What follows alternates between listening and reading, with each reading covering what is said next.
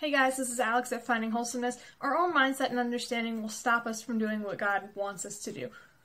We say, I'm not willing to go past my fears. I'm not willing to go past my comfort zone. We make up a lot of excuses for not doing things. God, I can't do that. I'm not the right person. I can't do that. I'm not good at that sort of thing. But we forget that God is incapable of making mistakes. And if He chose you to do something specific, then that's probably what you were meant to do. It's not your plan for your life, it's God's plan for your life. We worry, we fear a lot, we think that our plan is better because we don't like to rely on other people, not even God. We like to think that we want to lead, we want to make the decisions, but we don't realize that when we do this, when we live lives, when we live our lives for ourselves,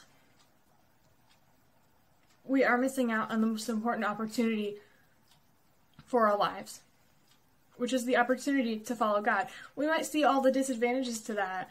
Oh, I don't have as much money now. I won't be able to be as comfortable. I might have to give up things.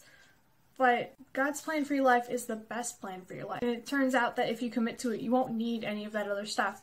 You have a choice right now. You can either continue living life how you want to live life, or you can obey God, listen with your heart, and start following.